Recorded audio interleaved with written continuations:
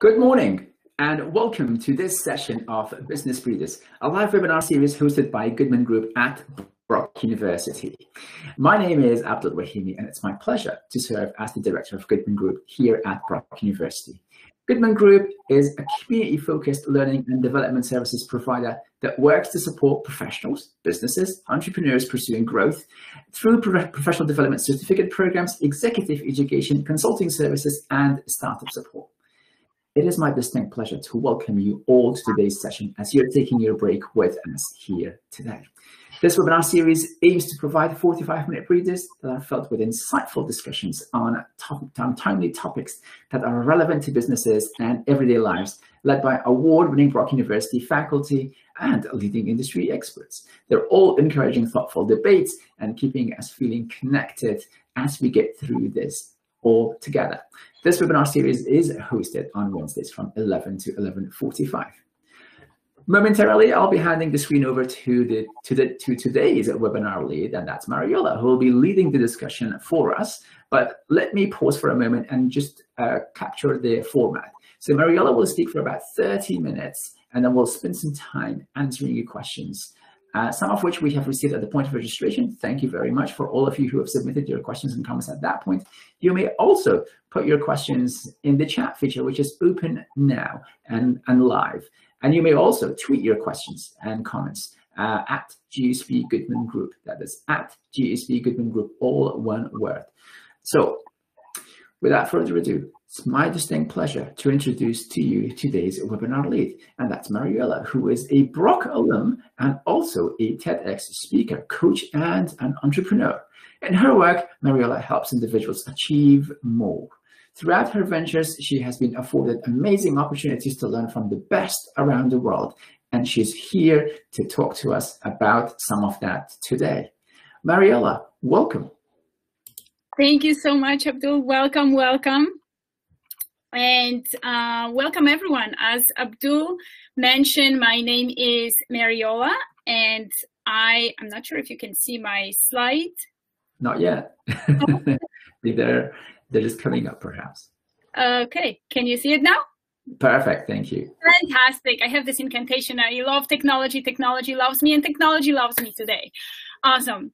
So as Abdul mentioned, my name is Mariol and I work with high achieving individuals, professionals, leaders, and helping them to take their success game to that next level of excellence. And I do it by identifying and removing some of the subconscious blocks. Now, because you're already here, pretty big chances you already are taking yourself to that next level of excellence. And you already know that the strongest force in your personality is that need to stay consistent how you define yourself with your identity. But did you know that research shows that 95% of this identity is set on the subconscious level?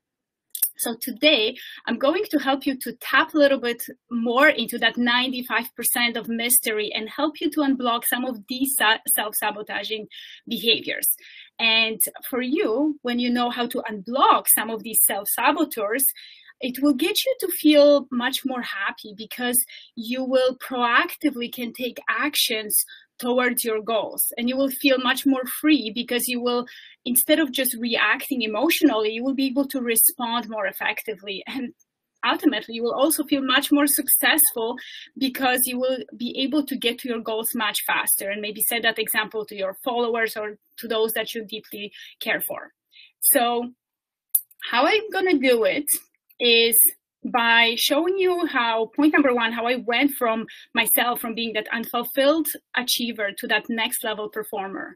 And what's my what my turning point was how the subconscious programming is keeping you stuck and we'll get into some of the keys to getting off to a fast start to stop sabotaging your success and before I dive in into the content, I would love to introduce you to a quick visualization and give yourself a gift. I know we're all busy these days and running busy, busy, but just to give yourself a gift right now for a few seconds to do this quick visualization with me. And whether you're watching this webinar live or whether you're watching this video, just give yourself that gift of a few seconds. So if I can ask you to close your eyes and take a deep breath. Inhale through your nose, exhale through your mouth. And as you're inhaling, imagine the bright cleansing light just going into your body and giving you peace. And as you're exhaling, exhale any of the busyness, maybe any doubts, worries. And again, big inhale and exhale. And just know that everything happens for a reason. There is a reason you are here today. Somebody, maybe yourself, got you to get here because you know there is something more inside of you to be awakened. And as you are here, give yourself the gift of putting yourself into that state of positive anticipation. Maybe like during Christmas time or going on a trip when you know something awesome is about to happen. Know that there is a reason, and in this presentation, you can find at least one nugget, one idea when you apply, it's going to help you to take your success game to that next level of excellence. You are at the beginning of a beautiful season of spring. How exciting is that that you get to learn some fresh ideas and write a totally new chapter for yourself. So decide and commit that you're going to walk away with at least one idea in the next 45 minutes that will help you to make this year your best year yet. Fantastic. Take a deep breath. Open your eyes and keep that smile going. Fasten your seatbelts and let's begin. So as I promised, the first thing I'm going to tell you is how about my journey, how I took myself from being that unfulfilled achiever to that next level performer. So about 10 years ago, I hit what I would call a rock bottom for myself, one of the toughest points in my life. And ironically, um, my life, if you look at outside, it wasn't that bad. I mean, I had a good relationship, good career, good enough health. Um, and but the problem was it was good. It wasn't epic. So what started happening to me, I lost that drive and stopped growing. And I don't know if you've heard that expression when when you stop growing, you start dying. And that's exactly what happened. So I gained a bunch of weight. I was over 100 pounds overweight and uh, my relationship started to suffer my career started to suffer and really um, nothing is going was going very well i ended up going and seeing a specialist and got diagnosed with uh, being a perfectionist ocd perfectionist and of course nothing was perfect and um, at this point i kind of I was really, really annoyed with myself because it wasn't that I didn't know what to do. I mean, I knew what to eat. I knew the knowledge to apply from the all the self-help books. I knew the content from all of the leadership seminars, and no matter how many leadership or uh, personal development seminars I would attend, I just wasn't applying what I knew, and it was just so frustrating that I kind of, in that suffering, I decided that the traditional ways of the personal development or therapies not, are not working for me. So I'm just going to do my own research. And I really started just ferociously studying, like every minute of my day, just studying and doing my own research. Anything I could get my hands on on epigenetics, neuroscience, human potential, world class success philosophies. And I ended up spending like tens and thousands of dollars into hiring coaches, getting training and mentorship from some of the top icons in the industry. Now, um, and I was always noticing there's some missing pieces that if I apply one, the other one is slipping off. So what I did for myself, because I truly just wanted to get out of that suffering state of not doing what I already know what I should be doing. So I started putting together all of these pieces of puzzles together and I developed a blueprint for myself. Um, that blueprint that helped me not only with that life of achievement, but also a life of fulfillment and I started applying it like piece by piece. It was very simple, and um, pretty much the, and also the premise of this blueprint was that i realized i'm not broken just like we are not broken we, we are not broken we don't need to be fixing but rather we need to peel off the layers of whether it's a conscious subconscious or super conscious or spiritual programming that is preventing us and it's a lot of it is not even visible to our eyes. So just peeling off these layers so we can truly awaken our full essence. So as a result of that blueprint, I was able to release 100 pounds. I went from uh, fear of public speaking and presentations, anxiety presentations, to becoming a TEDx speaker. Uh, and um, I started my own business, increased my income significantly, but most importantly, I created a magical moments with my loved ones where it's I can sit and play with my kids and don't feel guilty that I'm working, or when I was working, not feeling guilty that I'm not playing with my kids. So it really just created this life of fulfillment. And I'm really not saying this to impress you, but express to you that if it was possible for me, it's sure it's possible for you. And I don't know where you are at at your journey right now. You might be already at the highest levels of success and you just want to take it to that next level and he- hitting that ceiling. Or perhaps you want to take that success and put it into other areas of your life. Or maybe you are suffering with everything what's happening around the world right now. Or perhaps you're just drifting and it, the life is neither good nor bad, just like it was for me, but you know there is more to it. You want to experience more of that passion and you might be even are curious what does your full potential looks like? So if that's how you feel this presentation is for you because i promise you i mean i won't have time to go over the entire blueprint because we only have half an hour together. However i will give you points that i promise you if you start with these you will start turning your life around big time. So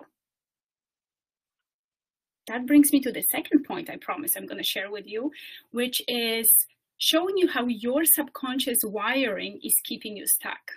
So in a moment, I'm going to describe to you how this, these subconscious saboteurs are happening. And because when you are able to recognize it, you can be much more proactive and recognize how you can program your subconscious mind so it doesn't program you. Now, I don't know if you know anything about subconscious programming, so I'm just going to give you the, the few few main things that you must absolutely know. Subconscious mind is much more powerful than your conscious mind. It also doesn't have logic or logical thinking. It doesn't know what's good, what's bad for you. So it pretty much accepts anything that you will allow it to accept. And it gets programmed every minute, every second, every moment of your life from the day you were born. And the most of the programming happens up to the age when you are five years old. And that programming goes goes in and pretty much inhales everything that is around you. And how the subconscious programming happens it happens anything that you experience anything that you're exposed to anything that you hear see feel touch experience anything um, anything that you watch any even subliminal messages that you can hear in in music in um, in in your perception even even the thoughts of and of other people. Now the reason why also it's important the one thing that is very important for you to know that in that subconscious mind there is something what's called self-image subconscious identity. And that subconscious identity it's a very important concept to know because the subconscious identity similarly like you have the conscious self-image the subconscious identity is very powerful and it will always keep you at the level of performance where is it set at so if your if your subconscious identity is set as someone like for me for example it was being at 220 pounds um, I was that that set point was at 220 pounds. So no matter what I would try, what even though my goal was to lose weight and be 130 pounds, no matter what I would try, it would not. It, like I would always go back to that 220 pounds because that set point was there. It's if you are making eighty thousand dollars, but you're dreaming about making, let's say, two hundred fifty thousand dollars. If your subconscious identity set at eighty thousand dollars, you will continue making eighty thousand dollars, and your actions, behaviors, thoughts, and everything else around is going to make sure that it will keep you on that on that level. And I'm going to in a in a moment, I'm going to explain to you how that happens. But you might be asking yourself, because I oftentimes get this question, so I want to address it how do I know where my subconscious identity is set at? Like, how do I know the point? Where is it set with my relationship, with my income levels, with my fitness levels? So close your eyes for a second and think of that area that you're curious about. Where is that set point for you in your subconscious identity? And think of for the past couple of years, how are your results? Consistent results. So on average, were you making $80,000? On average, were you at 180 pounds? On average, you're attracting certain people, always the same people into your life. On average, you have you exemplify certain leadership skills in the same way. Open your eyes. You can jot down that number or that set point Because that's exactly where your subconscious identity is currently set at. Your outer expressions are the reflections of your inner programming. And it's important for you to know because if you can rewire that subconscious programming, that identity, you will put yourself into the flow and you will align yourself with that goal that you want to achieve. Now, the second question I get around this time is okay, we're not five years old anymore. We are not children. Does it mean you cannot teach the old dog new tricks? Well, so what happens? I want to show you that yes, you can teach the old dog new tricks. And what actually happens to us, the conditioning, the subconscious programming continuously stays. However, we develop something what is called filter. And filter, so after like once we grow older, we are six, seven, eight, and so on and so forth, uh, that filter is pretty much set of beliefs, values, and mindsets that attaches any meaning to anything that happens around you anything that you hear, feel, see, uh, uh, uh, smell, or touch. So it attaches the meaning. Now, the filter can be negatively charged or positively charged. So when you have a filter that it's negatively charged, what's going to happen? Anything that happens outside that harmonizes with that negativity is going to penetrate through that filter and lower that self-image, that set point on the subconscious level. So if your your filter is negative, you hear some criticism, it's going to go through that filter and it's going to lower again that self-image. And, and, lower that self-image. Now, if the filter, um, even if you have negative filter, and if something positive goes in, it won't even penetrate through the filter because the meaning won't be attached and it kind of bounces back. So even if you come across some opportunity, you're not going to explore it because the filter is negatively ch charged at this point. And um, vice versa when the, the filter is positive, any positive messaging that goes in, it just penetrates and strengthens that image. And any negative messaging that goes in, the filter doesn't even accept. So it doesn't accept the criticism, but um, accepts all of the opportunities. And in fact, because of something what's called reticular activating system in our brain, our brain will harmonize and search more for the opportunities that are aligned with that filter. And in effect, will program that subconscious identity. Now, typically you don't have just positive or negative filter and most people don't. Um, so what it means that some of the areas you might have positive filters some areas you might have negative filters meaning think of some area where you are achieving the results you're happy with. And that means that your filter is positive there. And maybe some areas where they're not as maybe you're not you're suffering or not getting the right results typically the filter is negative. Now it is important for you to know because this way you can take that positive charge and kind of transmute into the negative charge. But ideally, the ultimate, what do you want to develop? And that's what I do with my clients is you want to develop that filter system what uh, what it's called the automatic success reflex mechanism. So when I work with my clients, we literally strengthen that filter overall so much so that no matter what happens outside, whether it's a negative, positive, the brain automatically turns it into an opportunity and success. So it's, it's kind of the next level of the silver lining. Um, it's not only, okay, something bad happened and I guess there is something good out of it, but it's literally expanding that adversity into opportunity that it's much greater than adversity. And simple example is that um, my clients last year, I mean, COVID happened, it was a global adversity for all of us. And my clients, not only they were surviving, but they were thriving. And because of that simple concept of just having that filter into that automatic success reflex mechanism where they could very quickly just capture any of the opportunities coming their way. Now, I promise I'm going to talk to you a little bit more about why that happens that and how our psyche keeps us in that consistent with that set point, that subconscious point. So our psyche kind of you can our identity you can compare to the system similar to the cybernetic mechanism. And cybernetic is pretty much a control system that maintains the definite course of action and will not deviate from the set target. So similarly our our actions and behaviors will maintain that definite course of actions and will not deviate from that target that is set in your subconscious. So think about the airplane. You know how airplane is set to go to Florida and it's flying to Florida and let's say there's turbulence and and, and kind of takes it off guard a little bit. The autopilot mechanism is going to redirect it, turn all the machines and all of the technology that needs to happen to redirect it back to go to Florida and don't deviate and go fly somewhere else. And similarly, that's what happens in our brain. You might want to have the goal set at, let's say, making $250,000, and you will set up that goal and you're going towards that goal. And, but if that subconscious identity is not set at 80,000, you will start showing the behaviors and, and the self-sabotaging behaviors are going to come out and i'm going to talk to you in a moment about how you can recognize those they start coming out to sabotage you and just bring you back to at the levels you are set at. Like think of the lottery winners. The research shows that most of the lottery winners within year within a couple of years of winning the lottery, no matter how much they won, they go back to the old self and they are losing all of the money because their subconscious identity wasn't set at the levels to keep this money.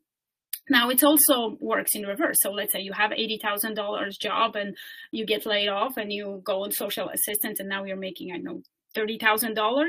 That mechanism is going to bring you right back up. So you will find the motivation to actually start writing resume, go applying for the jobs, just so you go back to that 80 point, um, $80,000 salary back. So the next point, and you might be asking yourself, okay, how do I recognize how how my psyche is going to sabotage me? How do I recognize these saboteurs? And if you watched my TEDx, it is through the pushback reflex. And what it is, it's pretty much in your behavior. Um, what's going to happen is the pushback reflex is like that set of behaviors and actions that will slow you down or will totally stop you from going towards your goal when your subconscious identity is not rewired. And how it shows up, it shows up in any fear, doubt, anxiety, procrastination, pain, like even physical pain, mood swings, overindulgence um, in eating or binge watching Netflix, anything.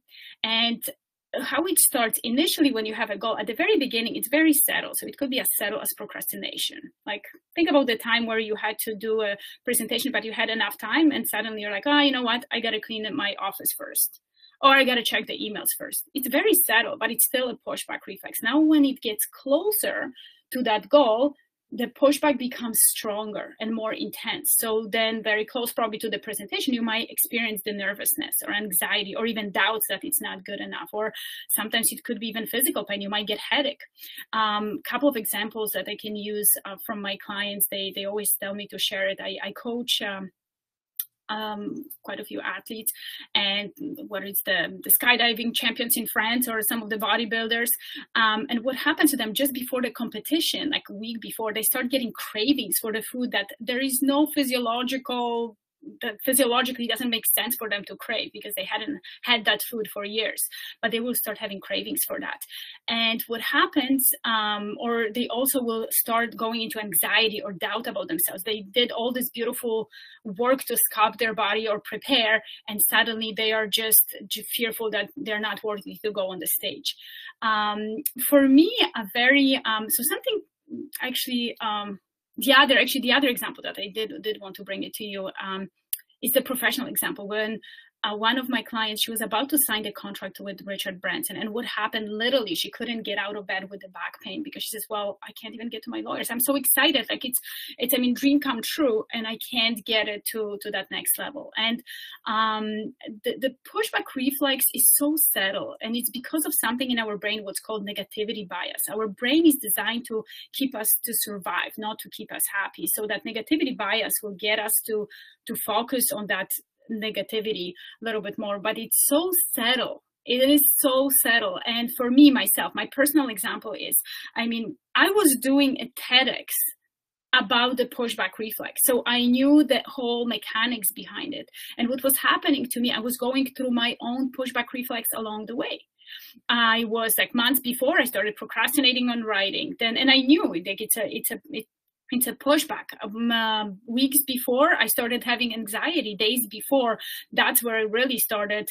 Um, actually, two days before, I started doubting that my speech is terrible and um, it's going to be terrible. And it's and I was going through that pushback reflex minutes before I went up on the stage. I don't have a fear of public speaking anymore, but minutes before I went up on the stage, suddenly I started worrying which shoes I'm wearing. I had picked my shoes like weeks ago, weeks before that. And it's just a subtle pushback, but it was preventing me because I was about to push through, go to that next level and achieve that consistent result. And luckily for me, I worked with my coach and I coached my coach on what are the steps we need to take and when when she identifies for me what's gonna when I'm going through that pushback reflex and what is the formula to unblock it and what what steps she needs to guide me through so I can I can push through it because I can't afford to kind of just lean into the pushback reflex too much.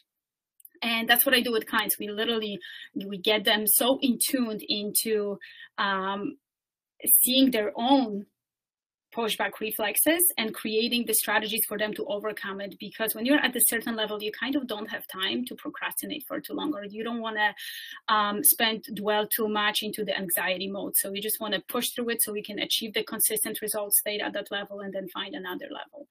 Um, but yeah the pushback it's a very very sneaky way. So that brings us to the third point that I promise I'm going to share with you today, and is the keys to getting off to a fast start to stop sabotaging your success. Um, now, I got to tell you a little secret. I don't really believe too much into motivational industry or or too much of the motivational psychology because it really didn't work for me. Just just thinking positively and i will didn't work for me and um, i will never tell my clients just think positively because it didn't work for me and i don't believe it works when you're already at this certain level of success as my clients are. And even respectfully i have to disagree with mr henry ford who said whether you believe you can or you believe you can't it's true. Well have you ever had a situation where you believed you can and you still didn't do it? Or have you ever thought that you can't do something? It's impossible. You can't do that extra push up. You can't meet that deadline, but someone, maybe a coach, mentor, or your boss pushed you and you were able to do that extra push up or you were able to meet that deadline. So at a certain level of achievement, you want to kind of look into more innovative practices. And it brings me to the point that number one, what you absolutely want to make it non-negotiable for you for yourself is to develop that positively charged filter. So no matter what happens, if it rains on your parade, no matter what happens around us, you're able to have that automatic success reflex mechanism within you that it's able to capture the opportunities and doesn't slow you down in your progress and helps you to live that life of fulfillment for your loved ones. Second of all, you want to be able to identify the blind spots and push through your pushback reflex. Now, the jar cannot read its own label, so you might need some assistance of a friend, mastermind, colleague, coach, mentor. Um, just like myself, I, I needed to use my coach to make sure that they can kind of just point out what's happening with the blind spots I'm not seeing. Um, you might want to set up the system for yourself that number one, you want to see what's your favorite flavor of sabotaging is and then what are the steps that can help you to push through that pushback reflex in efficient manner?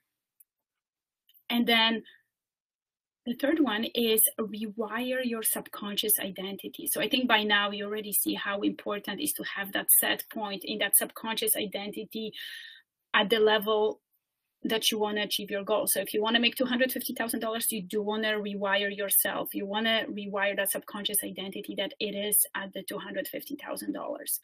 And how you can do it is by tapping into their multiple tools. I mean, again, we don't have time to go over all of the tools, but I am a strong believer you never want to see the side of the goal without any even smallest action you can take. So one of the tools I embedded in my TEDx. So feel free to go and there is a one minute visualization that helps you to on a subconscious level start tapping into that real essence that most epic version of you and every single time you go through this every single time you're stepping into that version of yourself it will start to help you to connect different neuron, different neurons in your brain, different neural paths. And this way you start creating different neural paths. You start rewiring that subconscious identity. So as a result, you start taking actions as that epic version of yourself. So I really strongly suggest that you want to condition your mind for the results that you want. So your mind doesn't condition you for the results that you don't want.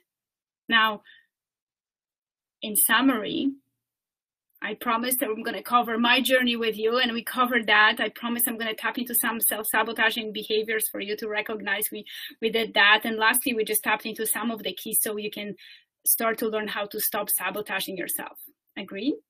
So now, let me ask you: Have you learned at least one idea, or have I reminded you at least one idea that you didn't hear, didn't remember before this presentation that will help you to recognize the self sabotaging behaviors or maybe even help somebody that you deeply care for?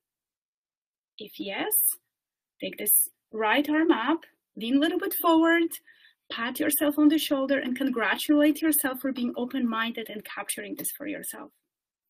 Now, know we don't have much time, but I do want to give you the time and opportunity. And in case I won't get to all of the questions today, I really would love to hear from you. I absolutely love what I do. I think I have the best gig on the planet. I get to serve organizations and um, and individuals around the world. I love doing it. So just connect with me to see how you can partner up and help others to spread the news and help them to awaken that best versions of themselves. And um, even in case I don't get to any questions, I really wanted to leave the contact information and I will be gladly to follow up and, and help you to understand more whatever we don't cover during the session. So that concludes my present my content presentation and I'm going to pass the mic to Abdul. Mariola, thank you. A lot of very interesting points, and I'm sure um, would have, you know, a, number of points would have resonated uh, with uh, a number of folks here or those who are watching uh, the recording at a later time. A um, couple of questions that have come in. Uh, let me uh, get to the first one here. So, do you think our society's tendency towards rewarding conformity and punishing deviation from social norms is a contributing factor in our self-sabotage? And if so, what can anything be done to shift or loosen those broader cultural pressures so we are less likely to settle for being average? That's a bit of a, a multifaceted question. Beautiful question. Whoever asked this question, congratulations. This is amazing question, and I'm sure a lot of us has this question. So I would say the answer to the first one: Does our society condition us and then kind of contribute to these self-sabotaging behaviors? I would say absolutely yes. In fact, when you look at the research, over 90% of the population kind of drifts aimlessly without that life of, of fulfillment and the full achievement. I mean, there's only what like small percentage of people that truly capture and have that that total ultimate abundance. So I would say yes. And to that point, to bring a little bit science behind it, the reason why is that why it's affect, affecting us uh, specifically um, or the person that also that that asked why is it affecting you? If i'm speaking this person is on the on the call right now is because of something that uh, in our brain we have what's called emotional contagion and mirror neurons. And that comes from the times again part of our survival mechanism when we needed to stay in a herd. So it's so much easier for us to conform and mirror the behaviors of those around us. So we want to stay almost like and we're mirroring we're subconsciously picking up the behaviors the actions, even thoughts of other people. The newest research, that's what the, the research shows. So we are going to stay consistent with with with what the group of people that we surround ourselves with is doing. And you might have heard a quote of, by Jim Rohn: "You are the average of five people you spend the most of your time with." That's exactly what happens. Um, so definitely, definitely, um, that has a valid point. So it would be yes. And the second part of the question was, um, I think it was about what can we do to overcome that? That's mm-hmm. right. Well, a couple of things. Number one thing is um, I, I, I, believe it's Mother Teresa who said the quote, if we want to have a clean world, we want to start with our own uh, doorsteps first. So I would say number one thing is to look into ourselves and strengthen our blueprints, our subconscious blueprints to make sure that it's strong enough so you can be leaders we can be that example. So starting with ourselves number one so we're strong enough putting that masks on ourselves first. And second of all um, pick the peer group you want to surround yourself with. I mean, I am blessed that I am surrounded by one of the top top performers on this planet, and what is the, the, the, the top top coaches in this world. And I I love playing at this game. I love learning from them because when you play tennis against someone who is much better than you, your game will always get much better. So I would say pick that circle. Now sometimes people say, well, I can't pick the circle. I don't pick my own family, and you know uh, my family is negative, or I don't have that um, or now during COVID or whatever the, the, the, stories are right now, well, then if you absolutely cannot find someone, you want to be the leader in that circle and you want to exemplify and strengthening those around you. Great. Thank you for those thoughtful responses. Here's another one that digs in that arena. How do you get others to provide their honest thoughts and feedback about you? Or how do you discover your inner subconscious identity.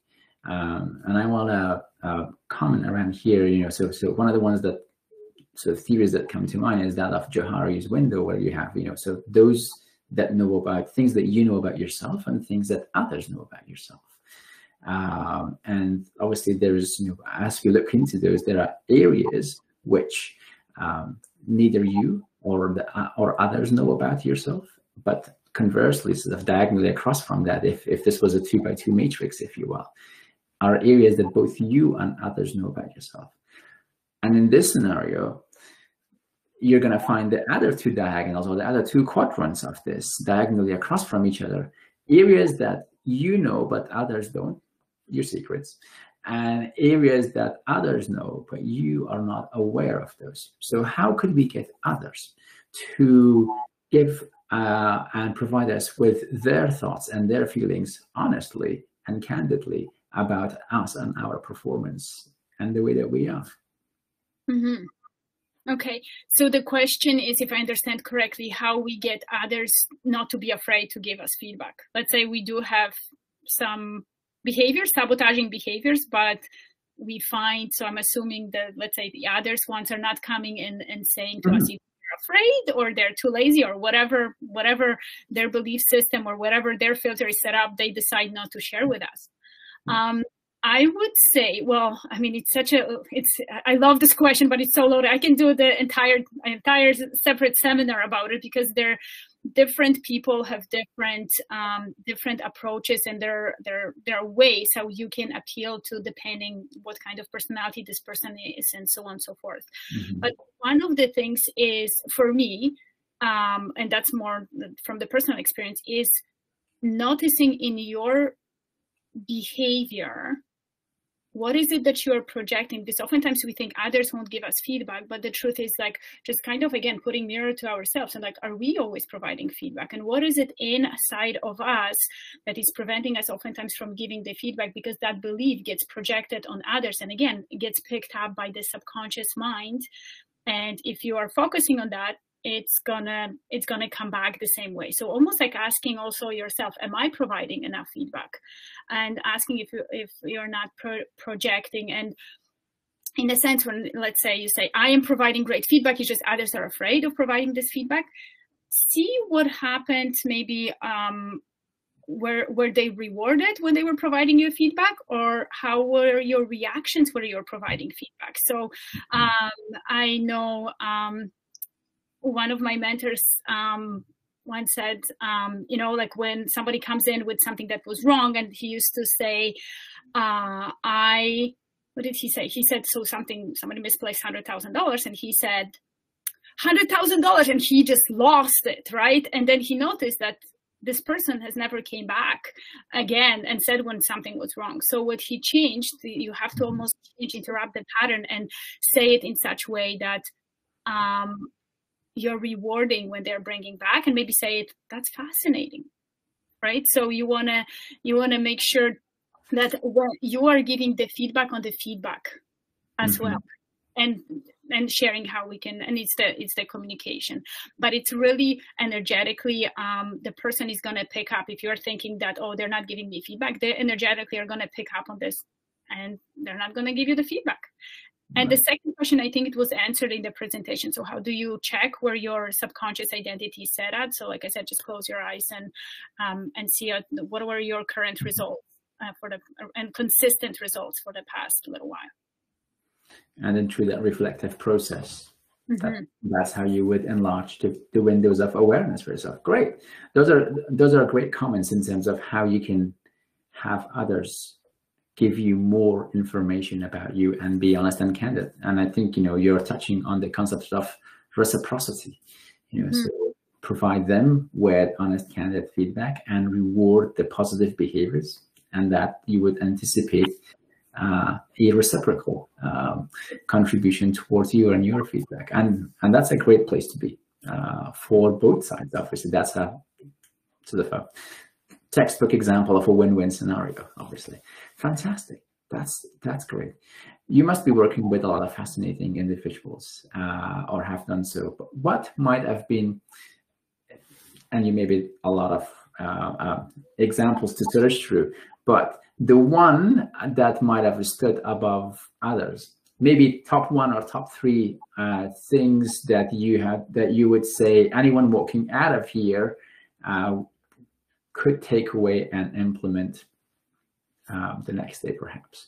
What may be your top three, uh, one or three thoughts, whether uh, would be to, to, to, to recommend for others? So the um, the thoughts to recommend the the takeaways, the actions. I'll takeaways. Okay. Hmm. Again, very loaded question, but I love it. Um, I would say number one, really focus on conditioning your mind so it doesn't condition you. Because we oftentimes think that this wiring, that that's just how we are. And it's not true the neuroscience shows we change ourselves periodically. We can totally rewire yourself. You can literally become unrecognizable to yourself to your loved ones. You can totally awaken that true potential of yourself but you want to start with with with understanding how do you condition your mind i would say that's number one. Number two find a way to uh, and again there's i love because that could be the totally i have totally another lecture on that um, but the way to to keep yourself in that optimal resourceful state. So we oftentimes think when we wake up in the morning okay i'm just having bad day and emotions just happen. And you know like if you ever had a day that it was a bad day and just dragging and nothing is going right. And then sometimes you had a day where everything was going right and you were coming up with a great um, great solutions. So make sure you put yourself into that resourceful state resourceful emotional state. And although again we don't have time to tap into how to do it but although we think emotions happen they don't just happen. You don't want to judge the emotion just like you wouldn't judge droplets of rain but you want to make sure that you have the tool to put yourself into that resourceful state and don't don't waste that time but be in that resourceful state. So yeah so number one make, make sure you condition your mind. Number two make sure you condition your state your emotional state. And number three would be align yourself with the people that are playing at the levels that you want to play or mastermind with the ones that can help you to achieve these results faster. Because as I mentioned, JAR cannot read its own label. And we like the more you the more you can align with somebody that can help you with that, the faster you're going to get to your results. And life is too short to play at the levels that are not at your full potential. So these would be my top three. Fantastic, fantastic takeaways the, the, the top three takeaways. Excellent. Mariola, thank you so very much for taking time and being here and presenting to our audience and helping uh, those who are here uh, uh, watching this, the live session or the recording down the road as well. Thank you so very much. My pleasure. And I also and I also want to take an opportunity to thank all of those who are uh, who have tuned in to today's session and watching this live, or for all of you that will be uh, maybe watching this, uh, the recorded version of, uh, of this as well. Um, next session of the business breathers uh, would be on we will have a presenter from Brock University's faculty uh, uh, coming in, and that that that is Dr. Ingrid Makus. Um, so she will be speaking on an also very exciting in the area of power and gender and politics. A very exciting area. I'm very much looking forward to her session, and I hope uh, many of you will be able to join us during the next session of Business Breathers. Also, Business uh, Goodman Group is a community-focused learning and services development provider. And the Goodman Group is uh, positioned to help a number of different uh, individuals and organizations. And one of the areas that we are working currently is by provision of new programs. And one of our new programs is that is, is, is the Canadian Business for Internationally Trained Professionals program. The registration for this program is closing soon. Uh, you can see the, the details of this on screen. Uh, you're encouraged to reserve your seat uh, at your earliest convenience because before those seats uh, are taken. We are uh, fortunate in the number of collaborations and collaborators uh, that are available that, that that have shared their vision and have made them and their resources available through creation of this program. It's a really wonderful program, and I encourage as many of you as possible to take those seats uh, before they uh, before they take up. So registration is closing on that soon, and you can visit uh, Brock University and Goodman Group uh, for further details on this. And we also have on the next slide the uh, the a new series of programs in the area of data-driven decision making. Uh, so I'm so pleased to announce this and share the information for this program with you. We're the first of in the series of seminars coming up on May 4th and May 6th. Um, and the focus would be on the fundamentals of data-driven decision making. Um, for early bird pricing groups or alumni discount, please just reach out to a member of the Goodman Group team, or you may register at brocku.ca slash Goodman Group with, uh, and or feel free to send an email to a member of the team, myself or, anyone in the team. And we'll be um, getting back in touch with you uh, in response to this. Okay. With that's all that we have time for for today's session. Um, we will be coming back in two weeks' time with Dr. Ingrid Makus on the next session of